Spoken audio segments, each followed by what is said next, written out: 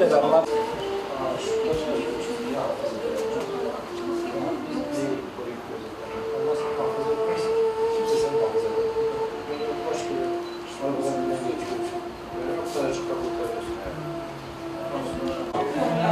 ben Adıyaman Üniversitesi Fen Edebiyat Fakültesi Matematik Bölümünden doçent doktor Ebu Bekir İnan.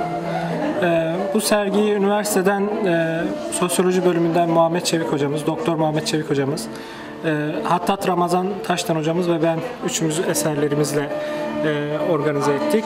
Belediye başkanımızın Sayın Süleyman Kılıç'ın destekleriyle e, ve İHA'nın organizasyonuyla e, ve sivil toplum kuruluşlarının da katkısıyla Gazze'ye yardım amaçlı bir e, sergi düzenledik.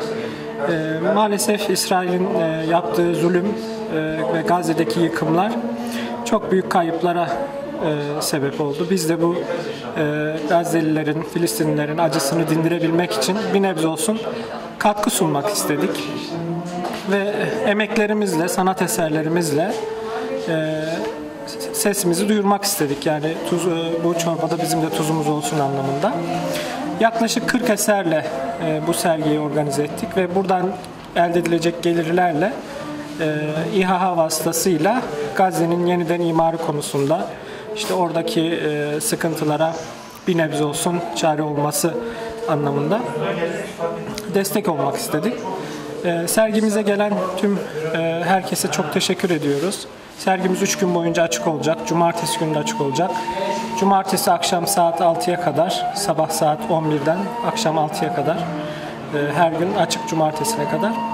Tüm herkesi, sanatseverleri, Gazze'ye destek olmak isteyen vatandaşlarımızı sergimize bekliyoruz. Herkese teşekkür ediyorum.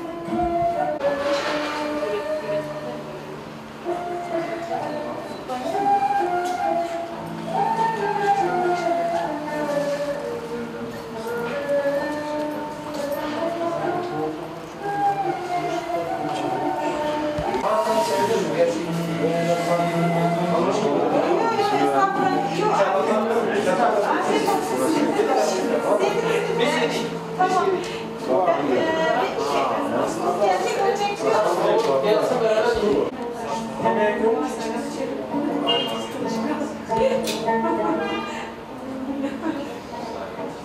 みません。